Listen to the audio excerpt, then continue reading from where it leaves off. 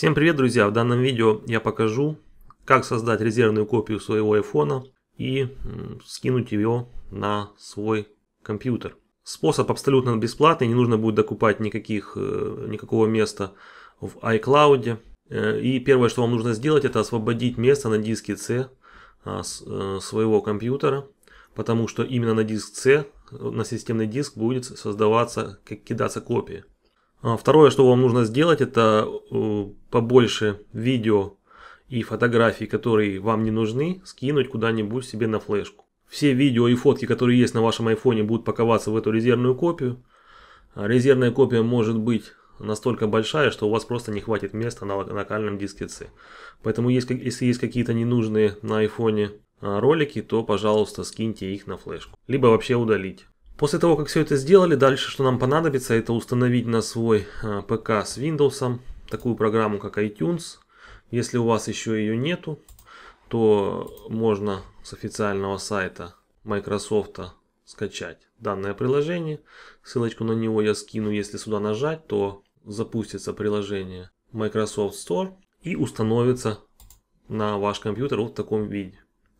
После того, как установили данное приложение, iTunes. Нам понадобится шнур, чтобы подключить iPhone к ноутбуку, либо к системному блоку. А, подключите шнур от iPhone к системному блоку, и у вас а, э, пойдет синхронизация вашего компьютера с вашим iPhone. Если на iPhone спросят, спросят, доверять ли этому устройству, нажмите доверять этому устройству. После того, как э, прошла синхронизация, вот здесь вот на главной странице нашего iTunes появится вот такой вот телефончик. Нажимаем на него. Здесь будет вся информация о вашем телефоне. И э, нас интересуют резервные копии. Э, на данный момент нас интересует этот компьютер. Если ставим зашифровать локальную копию, то, соответственно, она будет запаролена, и никто, кроме вас, не будет иметь доступ к ней. Выбираем этот компьютер и нажимаем создать копию сейчас. Меня предупреждает, что будут потеряны сохраненные пароли, а также данные Home, э, HomeKit и приложение здоровья. Если вам это нужно, шифруйте, не нужно, не шифруйте. Давайте зашифруем. Вводим пароль для своей резервной копии. Задать пароль. Э, сейчас я ввожу пароль на айфоне. И копия пошла создаваться. Итак, через некоторое время копия создалась.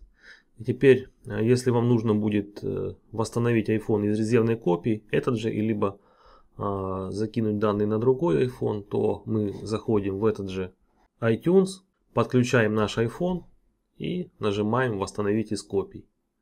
Вот так все просто, мы не ограничены э, в гигабайтах особо. И теперь можем подготовить наш iPhone для продажи, либо для ремонта. На этом все, дорогие друзья. Надеюсь, видео было для вас полезным. Не забудьте поставить ему лайк и подписаться на мой канал. Будет еще много интересного. Всем удачи, всем пока.